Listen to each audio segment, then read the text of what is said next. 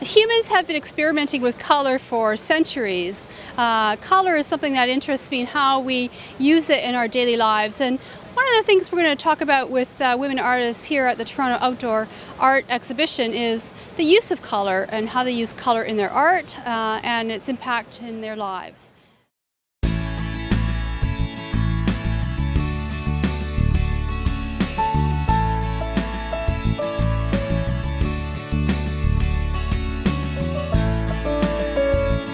On this episode of Extraordinary Women TV, I'm here with dancer, choreographer, and Nuit Blanche programmer Jenn Goodwin. Um, you're performing at uh, Nathan Phillips Square uh, for the Toronto Outdoor Art Exhibition. Tell us a little bit about your your art as a as a performing artist. Well, most of my work is movement based, so I would consider myself a dance artist, um, and it goes it deals with um, choreography, sometimes text, um, emotions bubbling under the surface of, of the physicality of what I show. Um, in some cases, it also involves music and rhythm. In this piece I'm presenting at Nathan Phillips Square, it's called If I Should Stumble. I'm working with a stunt performer and as well as other performing artists um, as an ensemble. It is looking at falling from grace. Um, I'm, I'm, it's my second piece I've done about falling. I seem to be very interested in the physicality as well as the um, intention and emotion behind falling. Basically, mistakes, screwing up, how do we get back on our feet again, banging our head against the same wall, trying to learn something, trying to get up and move on. It does. Uh, you know, you talk about the you talk about the theme falling. I mean, how does that play into into your work uh, as a performing artist? Um, the subtext of what we say, um, the yeah, and being being human, basically, with all our all the beauty and mistakes equally involved in that. So, what what sparked you to to want to become a dancer? Um, to begin with, and how long have you been dancing? Well, I think I've been dancing since I was six, you know, ballet class, etc. And then, um, but I pursued it as a career once I think I realized it was a real um, physical and emotional outlet for expression. Um, it, there was something I think along that that straddles basically something that's athletic and artistic. And i think dancing and movement has both of those in it that um, that really turn me on and that i really enjoy. You know we've we've heard this the stereotype of the starving artist for um, for centuries.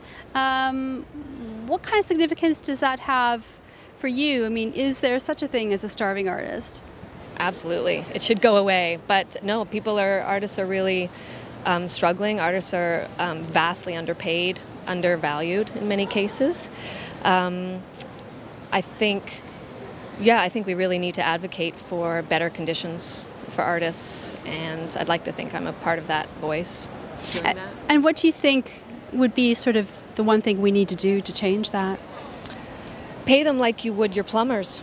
You know, if we want an artist to do something, just don't assume that they're doing it for exposure. I think it was, um, was it Charles Patchen? Is that his name? Charles Pachter, who said um, many artists have almost died from exposure, from overexposure, because we offer that to artists, and at the same time, you can't pay your rent, you can't pay your bills with that. And um, people, artists need to put food on, food on the table just like anyone else. And this is what they're good at. You know, this is why we ask them to do things, to make art. We asked you know, we're going to ask an electrician to do what they need to do to our house, and we should pay artists with the same amount of respect. How does color play into your art as a performing artist?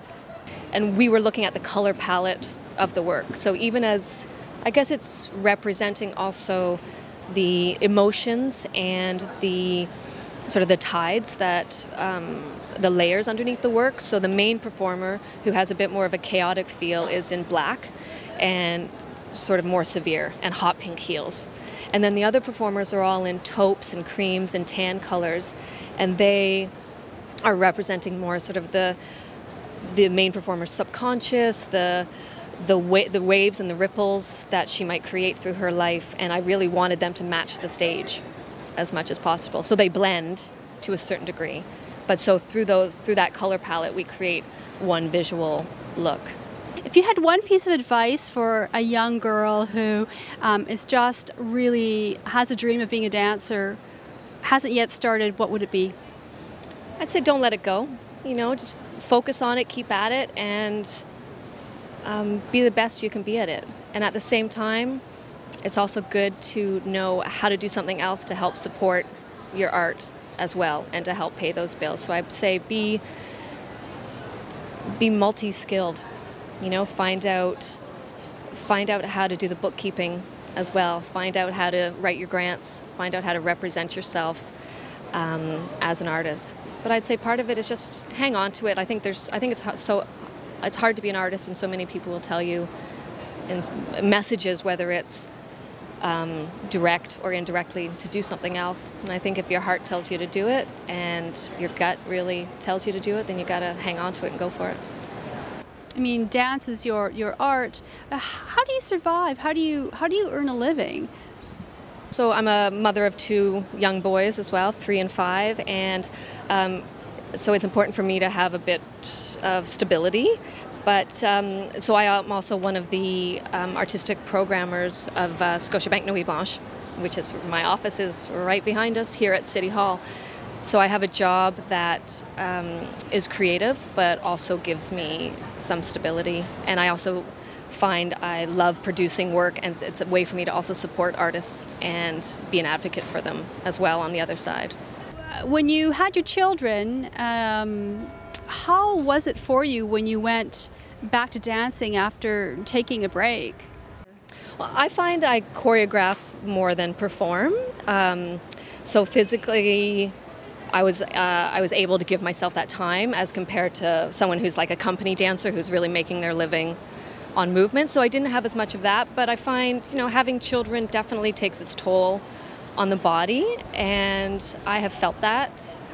And I think my work has slowed down. I've, I have not been producing as much, but I find I'm sticking with it, and I'm just allowing more time for the creation process. I either do projects now that take four years to create, or something like this project where it's like two rehearsals, bam, let's do it. So my time management has really changed, and since becoming a mother, as well as how I have to take care of my body because I have a lot less time to myself. Well, thank you, Jenn Goodwin, for speaking with us today. If you would like to be a guest on Extraordinary Women TV, visit our website at extraordinarywomentv.com. I'd love to hear from you. Follow me on Twitter at Shannon underscore Skinner or on Facebook at Extraordinary Women TV.